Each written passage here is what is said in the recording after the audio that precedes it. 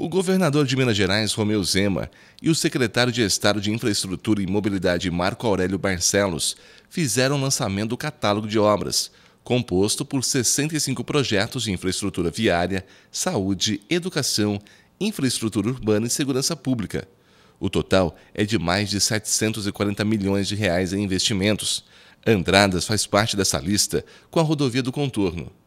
De acordo com o prefeito Rodrigo Lopes, estar nesse planejamento já representa uma grande conquista. Bom, essa é uma notícia muito boa, né? A gente está vendo aí toda a situação financeira do Estado e desde que o nosso secretário Bilac Pinto assumiu, né, como secretário de governo do governador Zema, a gente tem buscado é, essa possibilidade e ter colocado o contorno dentre as 65 obras já foi uma articulação muito forte junto ao secretário, junto ao governador.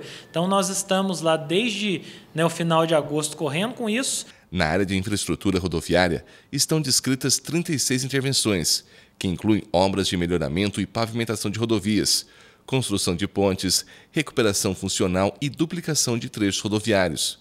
Para que todas sejam concluídas, estima-se um aporte de recursos na ordem de 500 milhões de reais. De acordo com Rodrigo, agora é a hora de conseguir os recursos com os deputados, através das emendas. A rodovia do contorno está avaliada em quase 10 milhões de reais. E para que saia do papel, vai precisar de apoio político.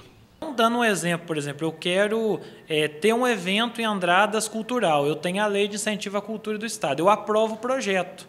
Então vamos dizer assim, ó, o projeto está aprovado. Nós vencemos a primeira etapa deve ter aí no estado hoje mais de 500 obras paradas. E a gente conseguiu ficar entre as 65 prioritárias. É, agora, a segunda etapa é captar o recurso para que a gente consiga viabilizar a obra.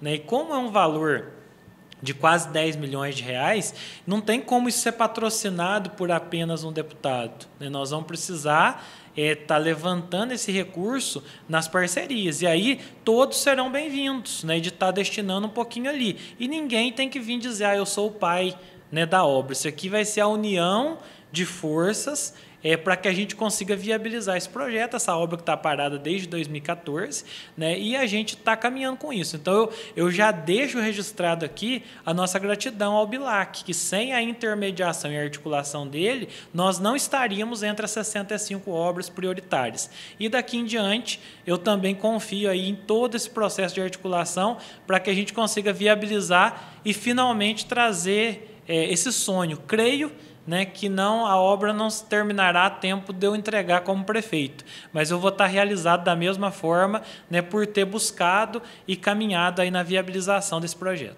De acordo com estimativas do catálogo de obras, a rodovia do contorno, após ser iniciada novamente, deve ser concluída em cerca de 16 meses. Segundo o prefeito, toda ajuda é bem-vinda, independente de partido político. Então é uma, uma soma de esforços né, que a gente vai procurar fazer. Por exemplo, eu creio que um deputado estadual ele não tenha 9 milhões no ano de emenda. Então, ele não vai sozinho conseguir é, bancar o projeto de Andradas. Então, vai precisar falar assim, ó, eu estou dando tanto, né? E com certeza a população vai saber reconhecer isso, mas é, vai precisar ser uma soma de todos. Sozinho, nenhum deputado vai conseguir viabilizar esse projeto. E nós estamos aqui para ajudar a articular esse projeto e toda ajuda, repito, seja do PSDB, seja do PT, seja do PCdoB, seja do PMDB, vai ser bem-vinda para que esse projeto possa ser concretizado.